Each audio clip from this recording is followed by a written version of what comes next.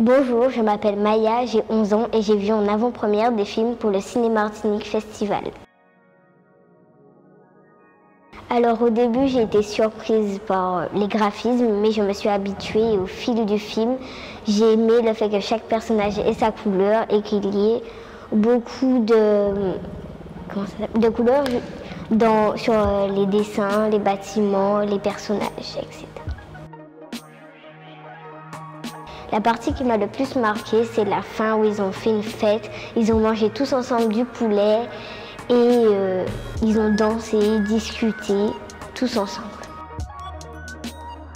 Oui, je recommanderais Linda veut du poulet pour l'action, les sentiments que procure le film, la joie, la tristesse, et pour les graphismes originaux et euh, surprenants.